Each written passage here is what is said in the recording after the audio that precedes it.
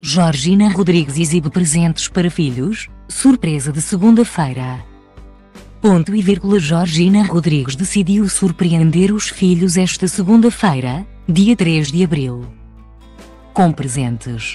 A companheira de Cristiano Ronaldo revelou dois deles.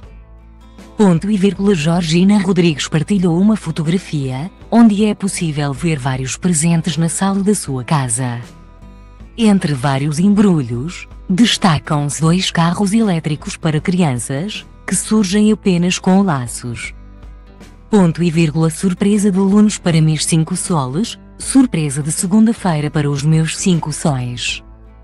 Escreveu na legenda, ao qual acrescentou um emoji em forma de coração vermelho. Ponto e vírgula de recordar que a Beldade Espanhola estreou, no último dia 24 de março, a segunda temporada do documentário É Só Y Georgina. Da Netflix, que tem feito o maior sucesso.